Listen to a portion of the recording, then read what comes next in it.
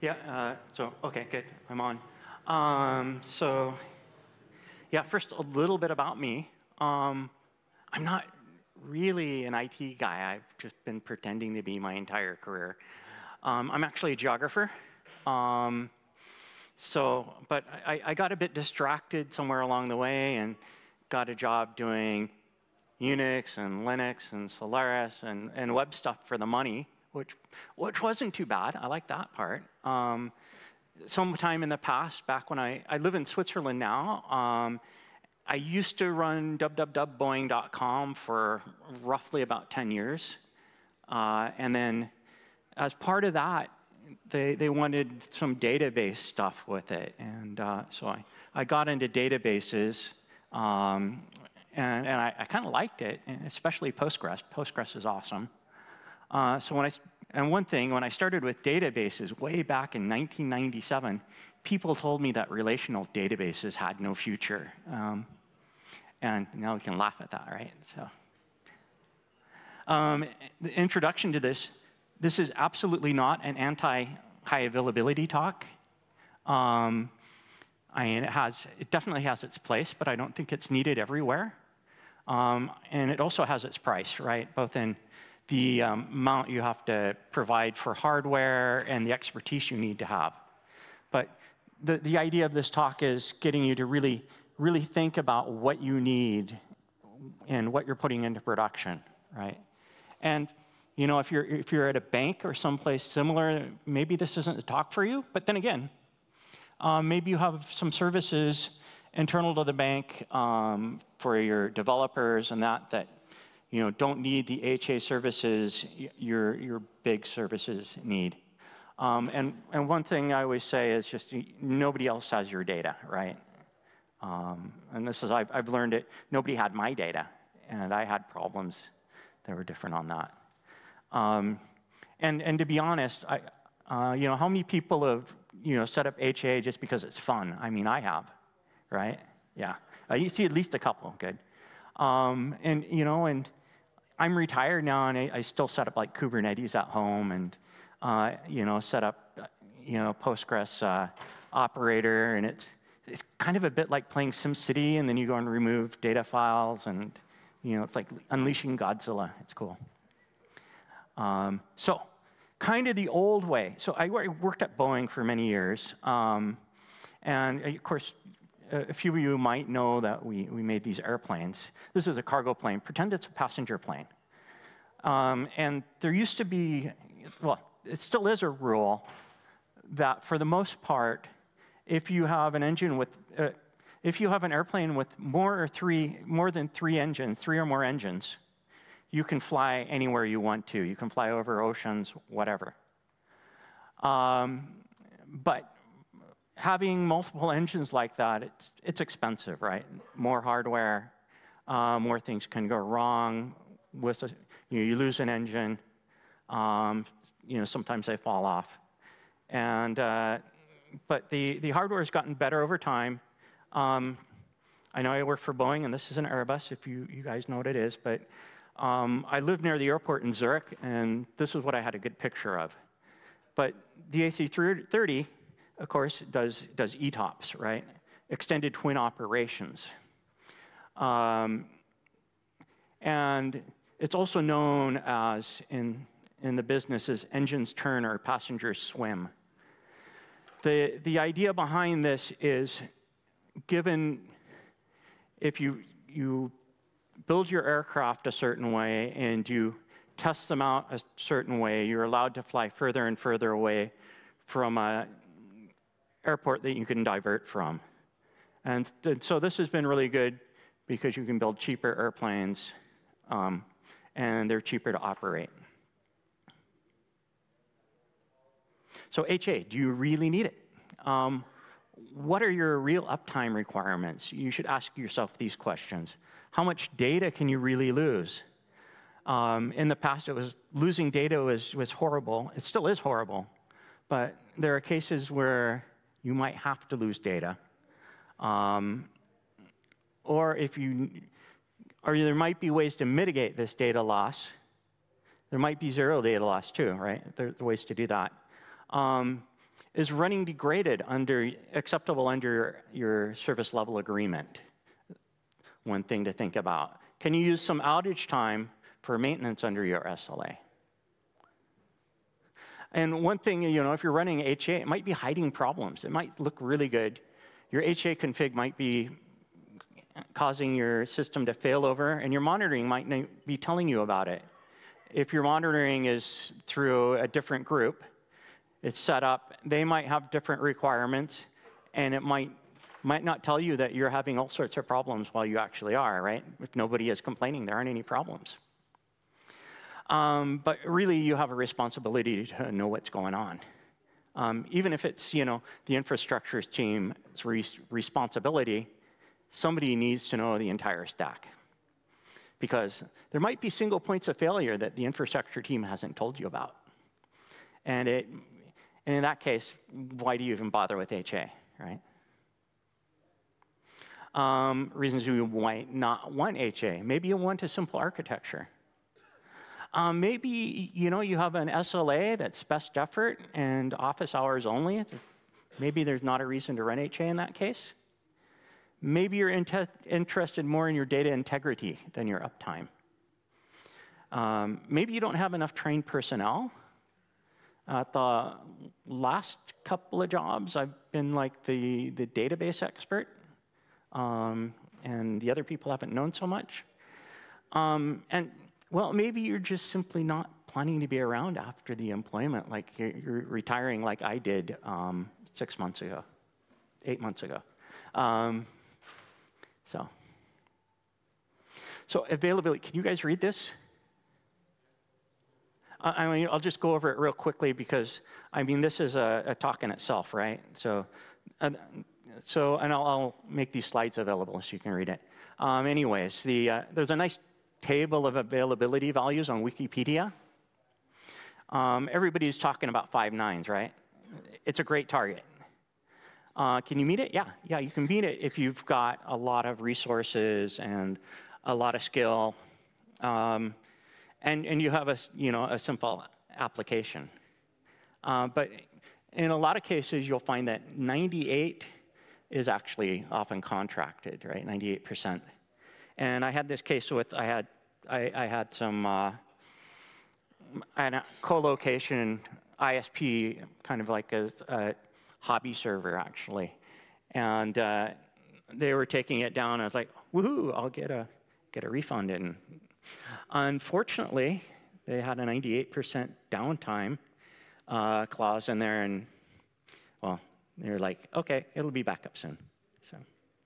Uh, and one of my commercial services actually had a contracted 98% uh, availability, but it um, actually at the end of the year, it needed to really be there, so we watched it carefully then.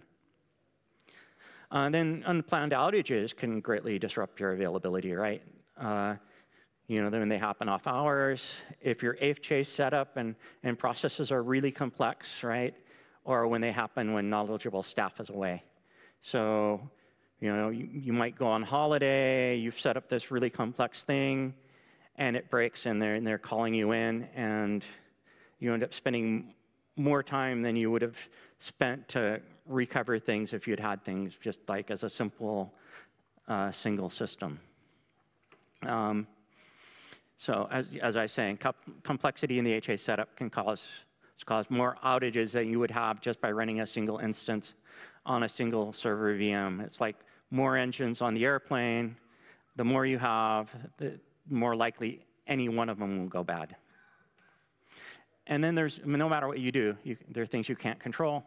Um, for example, well, if you're not running your infrastructure directly, you've either you know, got it hosted someplace or you have an internal infrastructure team that's responsible for that, or your networking team is doing things. Um, your, maybe your data center's caught on fire. I once had this happen. Um, I got a bunch of messages, all my systems were were having problems. So I, I, I drove down to, to the data center, and there's a fire truck out in front. So that was pretty exciting. And then there's company budgeting, of course. Uh, and what, what's, in the end, what's really important, right? Money, costs.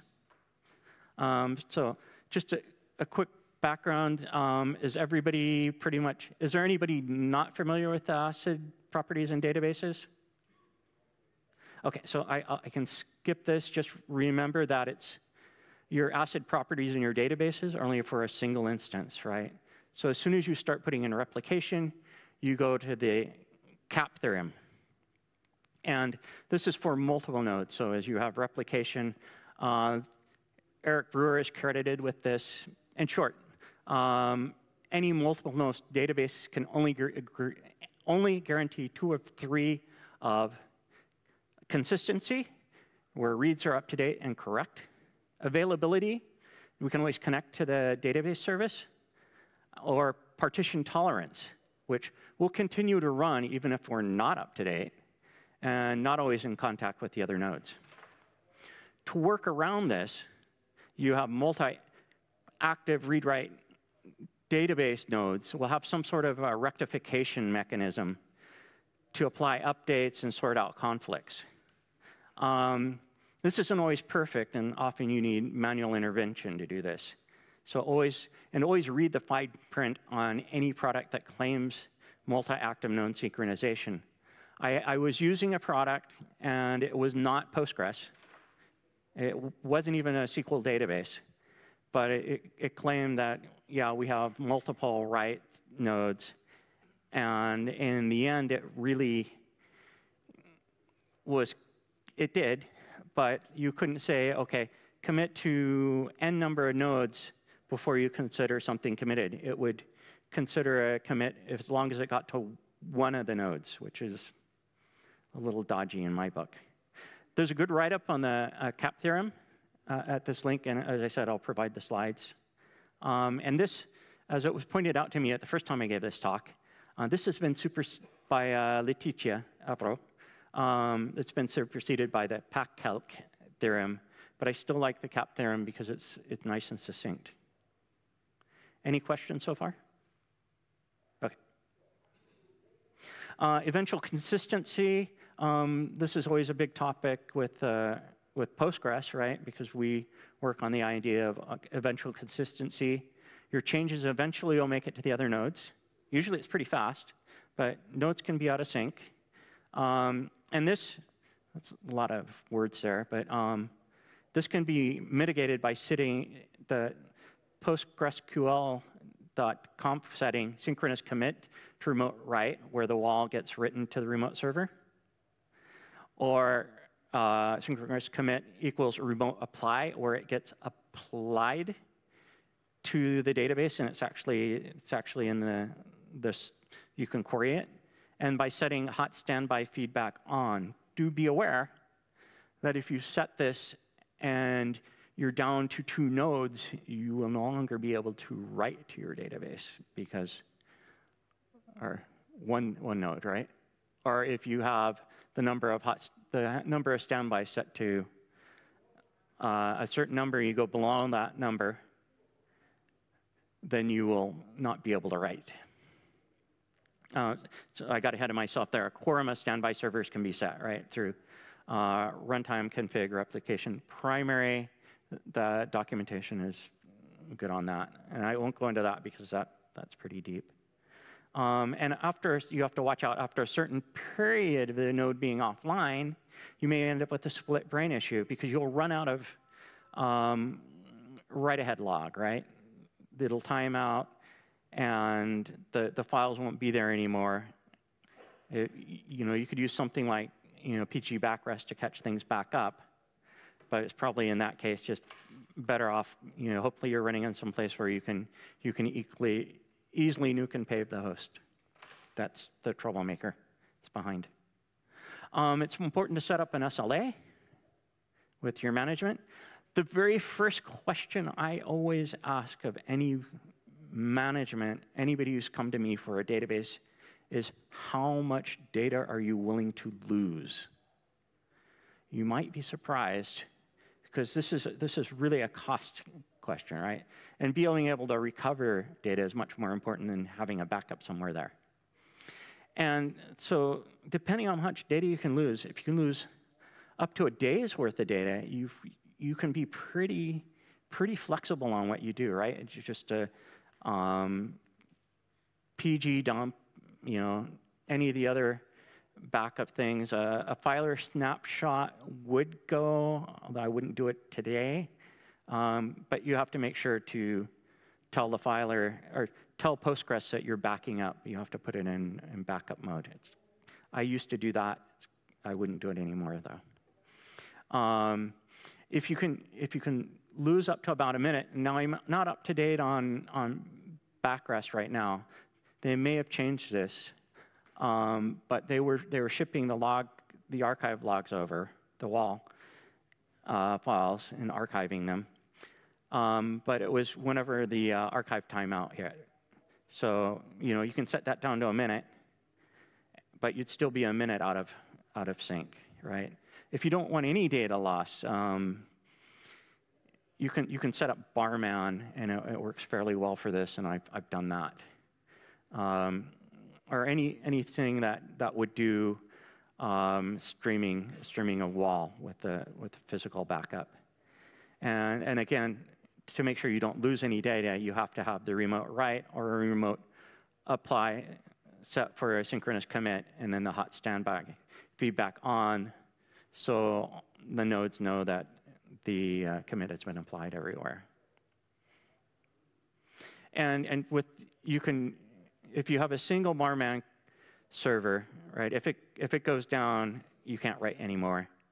So it's it's useful to have multi multiple barman servers if that's a requirement. And actually, you can put them in different places too, which is which, which is uh, in different data centers, which is a cool thing to do.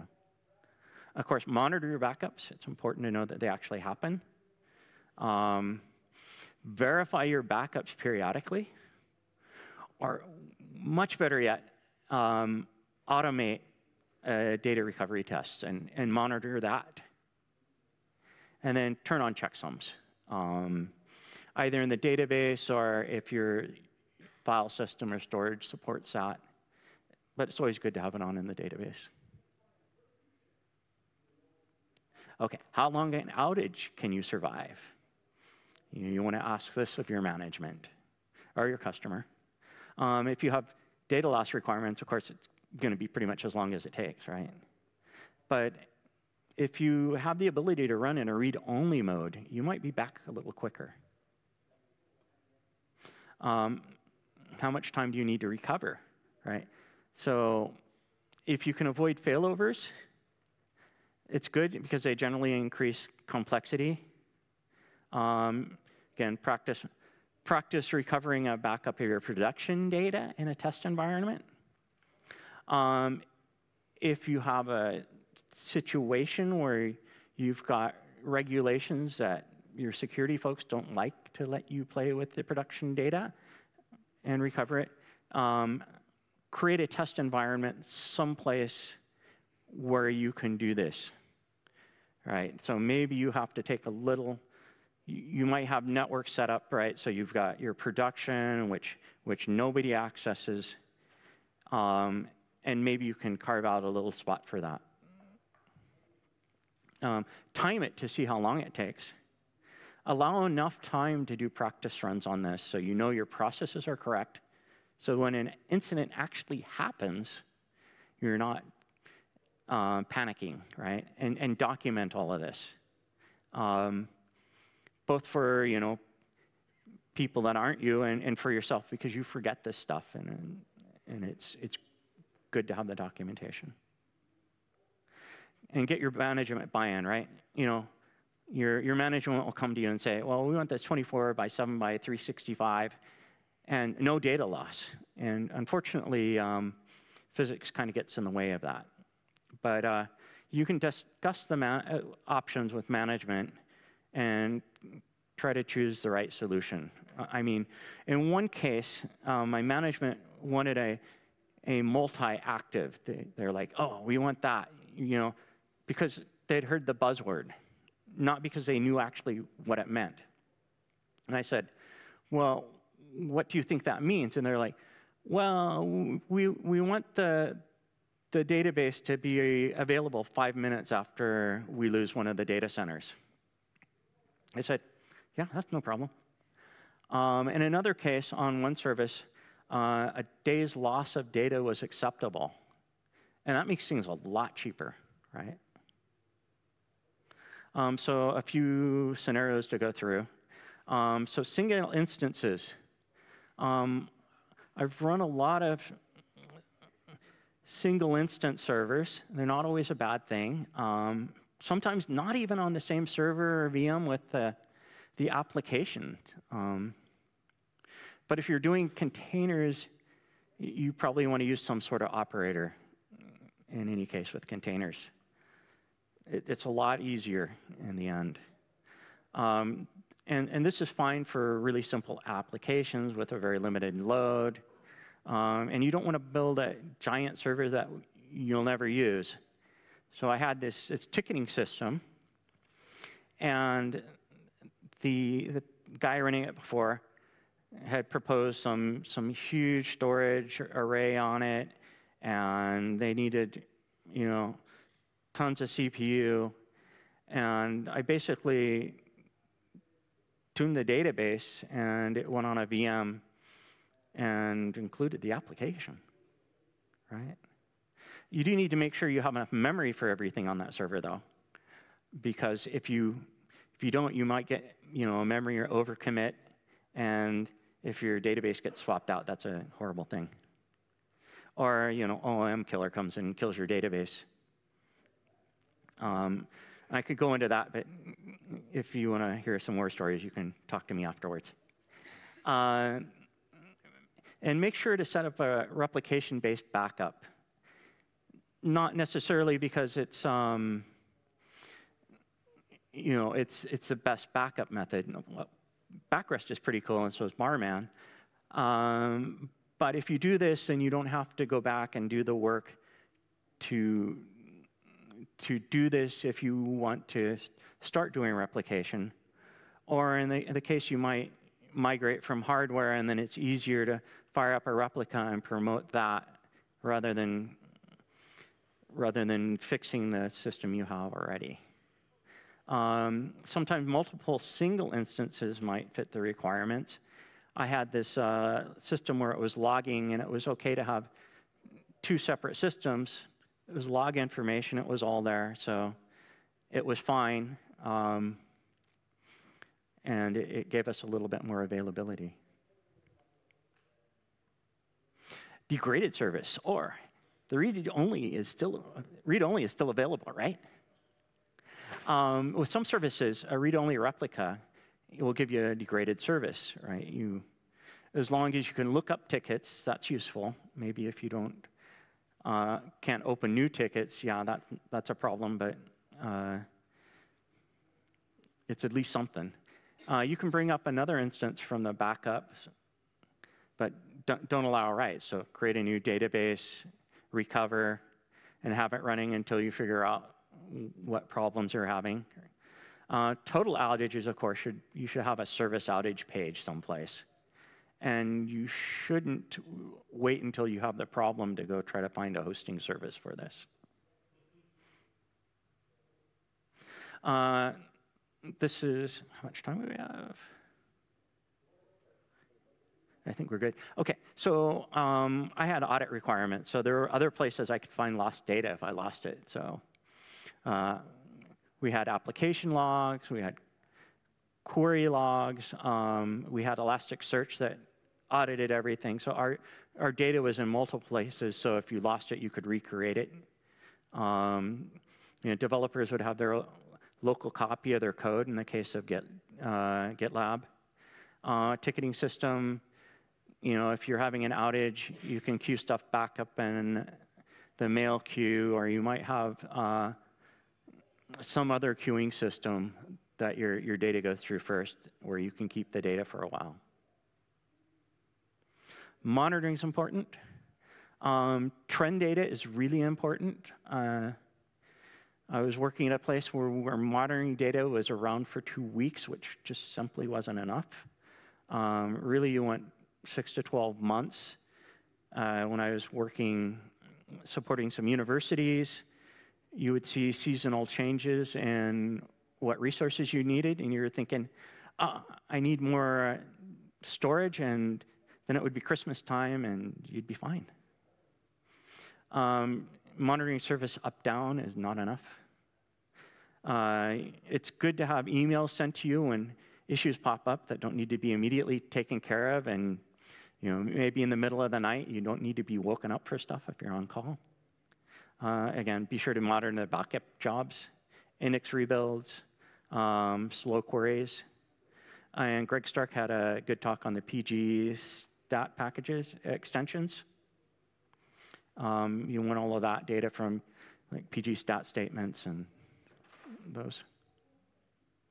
Uh, performance tuning, um, you can get rid of a lot of problems when you make sure you have the indexes you really need. Um, I've got a great war story about this, um, but suffice to say, if you don't have the right indexes, you know, you might end up adding tons of hardware that you don't need. Same with making sure that your PostgreSQL.conf has sane settings.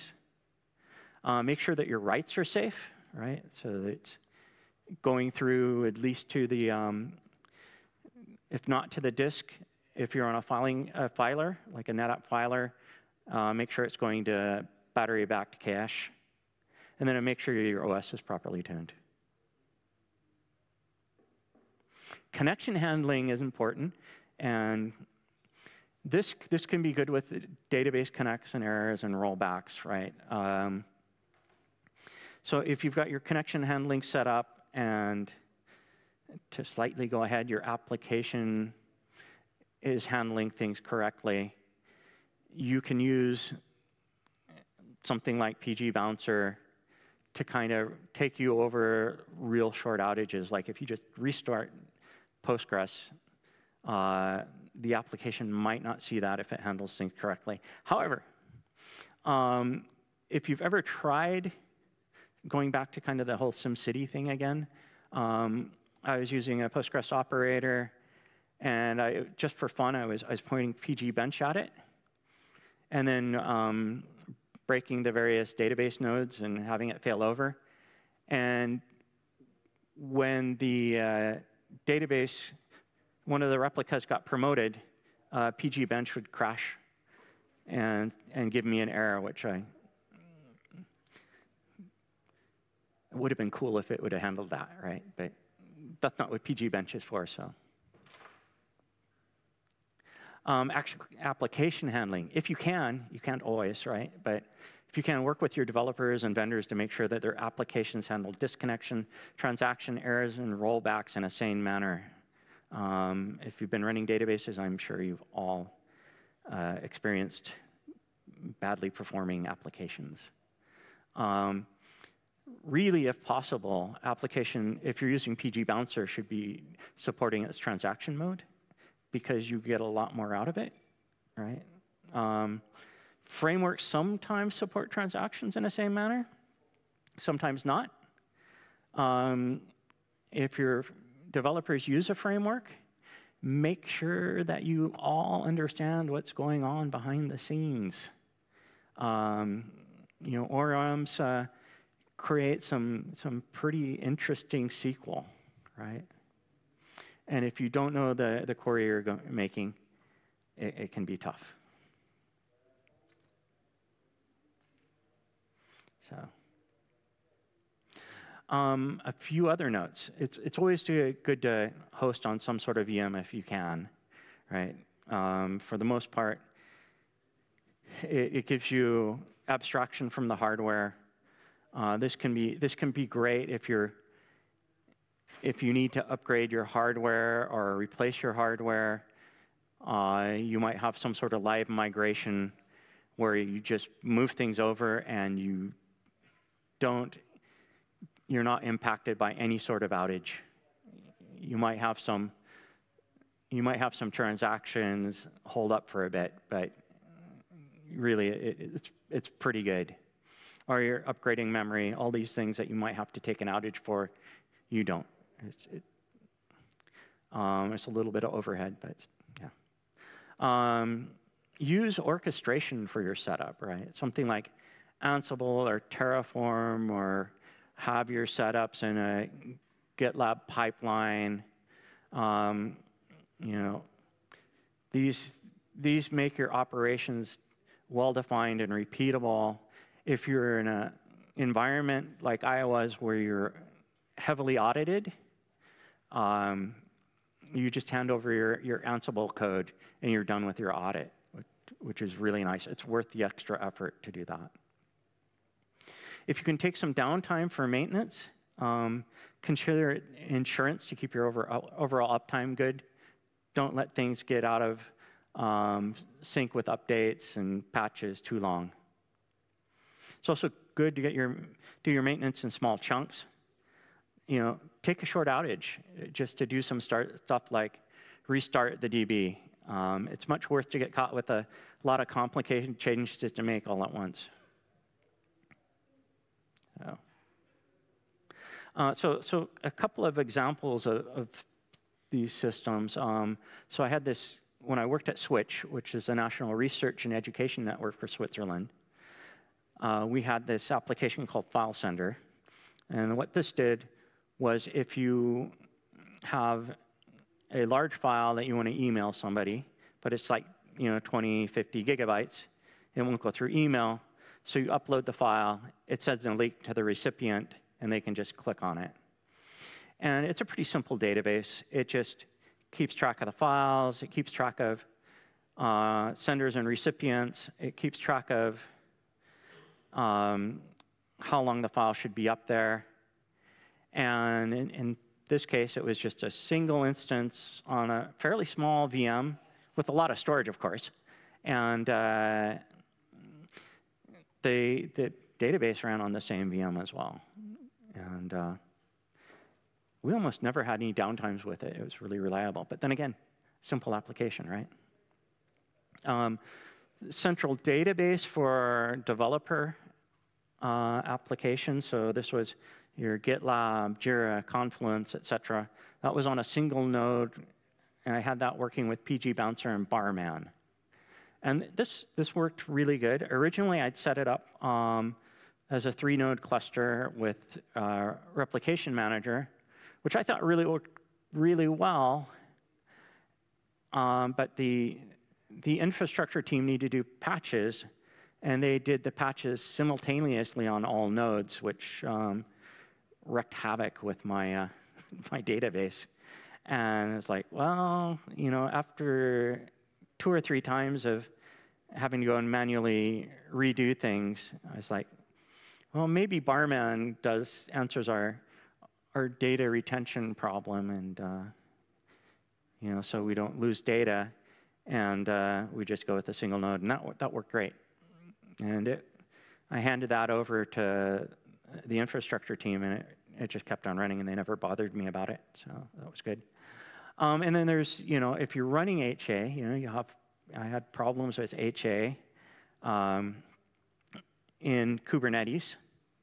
So what can happen there is um, my coworker undivided my databases, and it was all gone. so that, that was pretty bad. um, think it was, that was in production though, so fortunately. So uh, in summary, uh, try to keep th things as simple as you can. Um, don't do an HA, complex HA setup unless you have to and will benefit from it. I mean, if you have to, um, it's great. It works well. And if you have the resources, you know, I'm, I'm a big fan of, of the Postgres replication and, and the HA stuff and uh, the, the, the, Kubernetes uh, Postgres operators. I, I think it's wonderful stuff. It's fun to play with. It's fun to work with. Uh, and, you know, handled in the right way, it's, it's very reliable. Uh, but it, you're, you're putting a lot of effort into it. Um, if your data is important, uh, protect it. Use the tools, uh, tools available to set up zero data loss if you need that. Um, you probably have some downtime in your SLA. Use it if you can.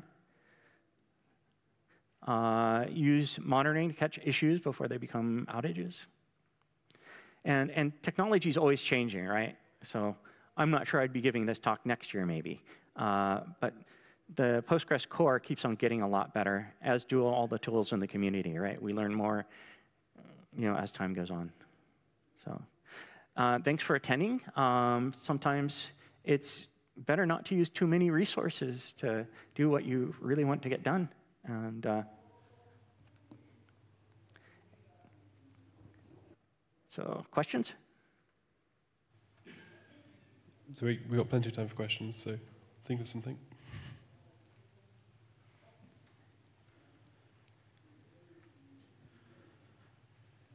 So there's some examples you have of like where it was uh, worthwhile. You needed like five nines.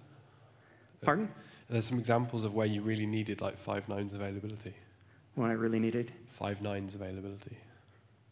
uh, high availability.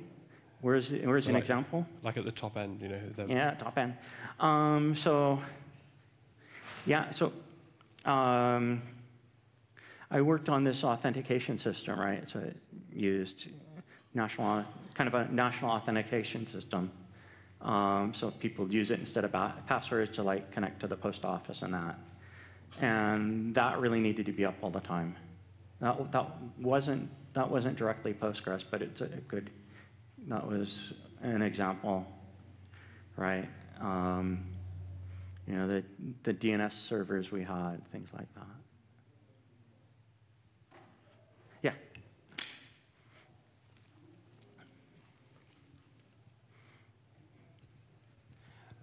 I think it's.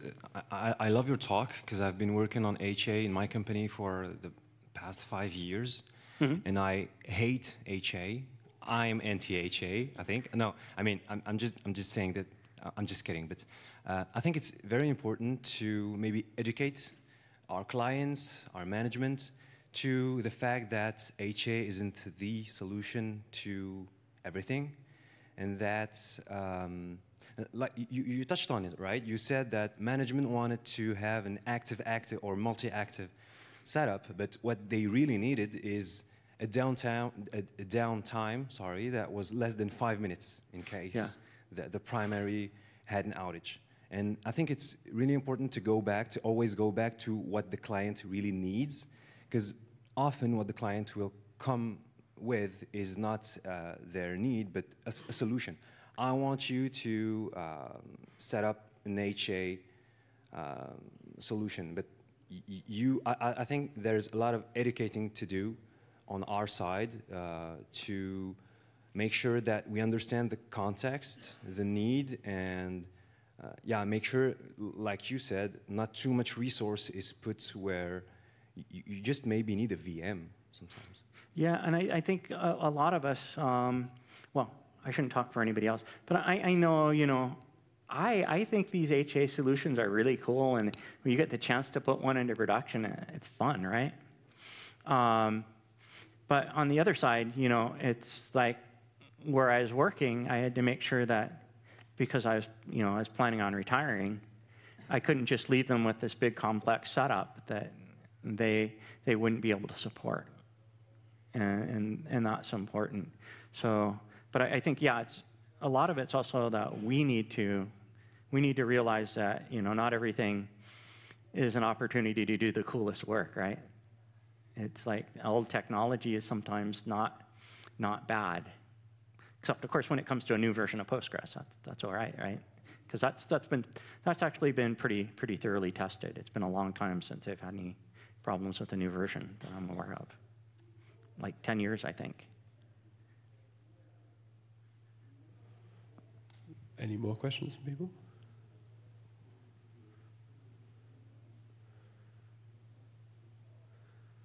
Uh, is there anything else you want to add, Greg, or do you want to? Anything else you want to talk about? Or? Anything else I wanted to talk about? I've got a little bit of time, but um, I think I'm mostly, yeah, I think it's, it, it's probably pretty good, yeah. Um, oh, We have there we go. Hi, considering the example you gave before of a client wanting just a downtime of let's less, not more than five minutes, um, would you do that with a single node setup, or you still need a replication or something? For like a, just a, down, a downtime of five minutes? Uh, not more than five minutes until something fails over and resumes as whatever. Um, what exactly, what was the question again? Can I have that with a single node cluster?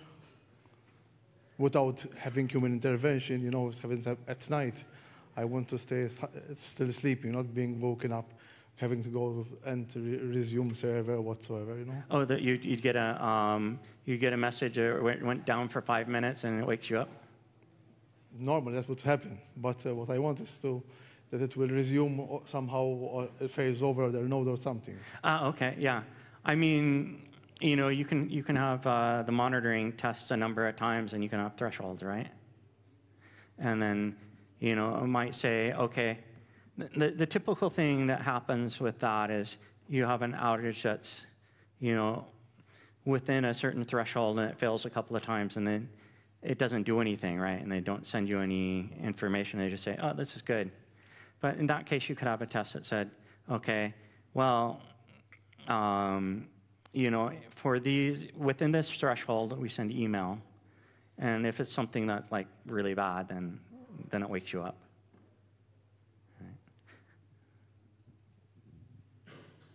Anything else anybody wants to talk about?